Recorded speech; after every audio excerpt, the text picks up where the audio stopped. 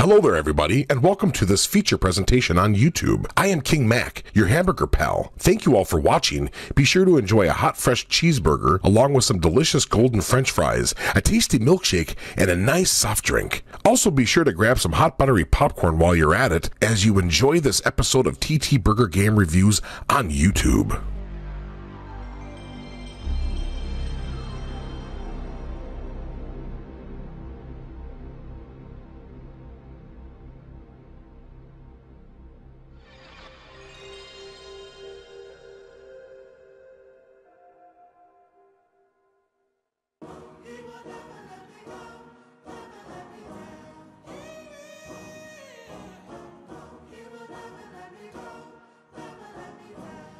Let's go. Hey everybody! Welcome back. You are watching TT Burger Game Reviews here on YouTube, and I am your host, Tony. TT Burger, the PlayStation gamer, they call me. TT Burger, yeah, I know I've noticed I changed my name here. I just want to do it a little bit fancy, but I still go by whatever you want to call me. TT Burger 8, Tony, or TT the PlayStation gamer, whatever you want to call me, because I am the PlayStation gamer here, bringing you more PlayStation, PlayStation 2, PlayStation 3, and PlayStation 4 game reviews here and more. As we, do, as we take a look, look at some of the best and the worst games on the Sony consoles and more.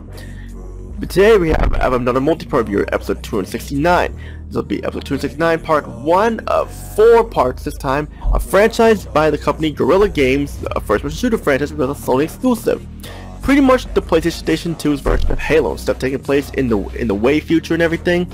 Before I get started here, I want to give a shout out to Free Green HD and Sub-Zero MX King Mac, along with Stat, Stat Type Lamnia, Brickles with Stateside, Megs, Black Healer, Griffin Puff, um, the homie RJ, Ogojiro, Rockstar Pools, uh, 69, the Sensational Gent, um, the Ogojira, um, and more and more and more. Everyone who supported this channel, Morpheus channel wouldn't be as big as today.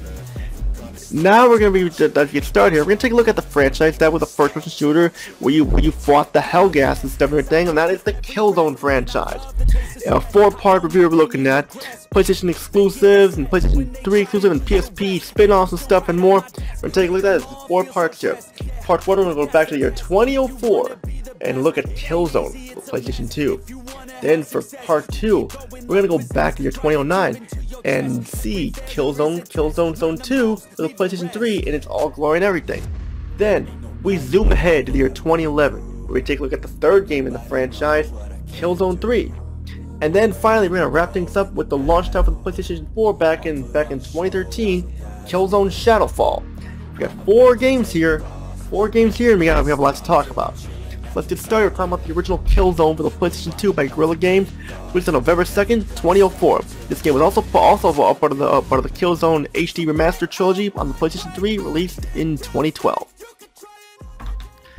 Now for Killzone, while it is a decent game, it has fun factor to it and stuff for a person shooter, the game has problems. These problems have made the game not age all that well due to graphical issues, gameplay issues, and more. Is it broken? No, but does have issue, issues such as pop-in, screen tearing, unbalanced enemy AI, and frame rate issues and more. But the game still has fun factor to it despite the issues. What will the score be? Well, you will find out. Let's get started. Why don't we get started here? Now, Killzone this game came out, everyone was saying how this game was a Halo ripoff, and Sony just copying Bungie with this game, and blah blah blah blah blah. Don't play the game, it sucked, it's a Halo ripoff and everything. I'll be one of the people to say that this is bullshit because this game is not a Halo ripoff despite it taking place in the future like that. I don't care. Do you fight the Helghast in Halo? No, you fight the Covenant. Do you have four playable characters to choose from? No, you only have one or two, depending on the game like that. You have puzzles to solve, variety of weapons in the gameplay, and more. Do you solve puzzles like this in Halo? No. This is not a ripoff, so the Halo fanboys need to grow up. Even if it was, let Sony do what they want for crying loud, who cares? And I do like this game more than Halo. I was never big in Halo except for Halo Combat Evolved, but that was it. I mean, while Killzone could have been better, I still res respect this res respect this game more than Halo. These Halo rip-off claims are bullshit, so let Sony do what they want. And because of this shit, people hate the game with a passion, when me I think it is a decent game with issues, it does not deserve all the hate. Killzone's story takes place in the year 2357. In a fictional world a nuclear war happened two years ago in the year 2055, it has made the planet Earth uninhabitable. Because of what happened, the world government formed an order known as the, uh, the United Colonial Nations, also known as the UCN. They moved to establish human colonies in the system known as the Alpha Centauri 3 that occupies two planets which are the Vekta, a rich Earth-like world, and Helghan, a barren wasteland. War broke out when Helghan Corporation sought to buy ownership of Vekta. The UCN was against Helghan un unfair practices. This war was labeled the Helghan War, and this has been bad since the year 2355. This then leads to the Interplanetary Strategic Alliance, aka the ISA, which is the military arm of the UCN, driving Helghan out of Vekta. The exiled colonists of Helghan established their own civilization on Helghan, but many of the harsh environment and atmosphere killed many Helghans, where they had to use respirators and oxygen tanks and stuff to breathe. They then sought, so they then became the Helghast. They mutated into pale-skinned and hairless humanoid monsters, making them stronger. Now it is a war to stop the Helghast before things get worse. Killzone puts in the role of four members of the ISA. We have, we have Captain Jan Templar, the main protagonist and all-around leader of the, ISA. We have we have Shadow Marshal Luger, aka Jennifer Lawrence, who is a sneaky stealth assassin of the, of the group. We also have Sergeant Rico Velazquez, who is the heavy weapon motherfucker of the group, who has a pure hatred against against Helghast and stuff, and swears a lot and stuff. And then we have Gregor Hakha, who is half Helghast breed, who was a spy by the ISA investigated Hel Helghan Rico does not trust him because of him being half Helghast, but grows to like him eventually. You start off with Templar, the all-around captain team with an assault rifle and more, but you unlock other characters later on when you unlock them. Then you can select them altering the gameplay of each level depending on the character you choose, and me personally, as soon as I unlock that character, I would use that character to, to like, you know, experience some stuff, and you can do that in any way you want, which adds replay value to it. The story is really good. Very strong with our characters being likable, even the angry Rico who cusses all the time, but hey, it adds character personality to him. My favorite character is Templar, since he's the all-around character and leader. I enjoy Luger with her stealth moves and night vision and thermal vision stuff and silently killing enemies with a sniper rifle and more. Rico has a heavy machine guns who is good for people who want to just shoot away. And Hakha is my least favorite character because I do not know he feels very weak, weaker than the other characters stuff, and he's like, he has an assault rifle and a knife and a pistol, and he can pick up more weapons stuff, he just seems to take a lot, a lot of damage and stuff. I mean, he can, he can, he can, he can, he can go down very quickly, I mean. When it comes to the presentation aspect of kills, I have to say it's probably the weakest part of the game. The graphics have not aged all that well. You look at the graphics, sure they have detail them, but you notice a lot of popping and like um screen tearing, and the draw distance does not extend very far, making it making everything look like a pixelated shadow in the nightmare in the distance, and it looks awful. Also, the frame rate does not really hold up that well either. It slugs, slugs along like a snail, a lot dropping in the single digits when a lot of actions on the screen. The character models, when you see them up close in the cutscene, they look as if they were using the Indian character models and threw them into the cutscenes and they're called a day. And they look out of place because of this, and when their mouths move, they look like sock puppets. They move around decently, so that is a plus, but the background elements in the cutscenes are good, I'll admit that much. Speaking of backgrounds, they have a lot of detail to them, but there's a lot of shadowy looking stuff everywhere, and the draw doesn't extend very far, very far. It just pops in and stuff and looks pixelated looking when it's in the distance. The gun models look good, I, I, I, I'll admit that. It's cool when you climb a ladder, you see the character's arms grabbing the ladder as you move up or down, look, make it look realistic. The explosions look look nice, the weapon effects look cool, and they have there's some blood in but it's not really a lot of blood and stuff. Looks like Kool-Aid and everything like that.